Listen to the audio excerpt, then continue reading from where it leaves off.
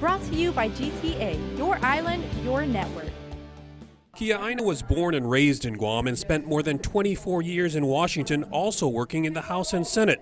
She said that a federal government assessment of its underlying relationship with Guam is long overdue. Identifying mutually with Guam leaders the gaps, inequities, or impediments under current federal law, administrative, statutory, or constitutional, that can either help or continues to hurt Guam. Now,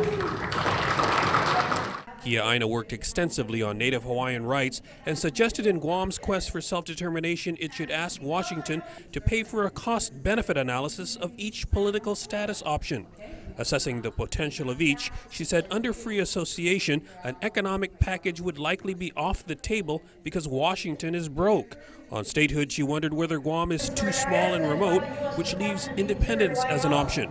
But she also floated one other possibility an enhanced territorial status, though it is not among the current choices under consideration by the Commission on Decolonization.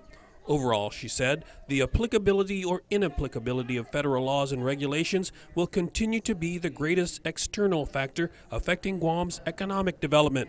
She urged officials to engage new Interior Secretary Ryan Zinke who made specific mention of territorial issues in his official biography. most importantly, our sovereign Indian nations and territories must have the respect and the freedom they deserve.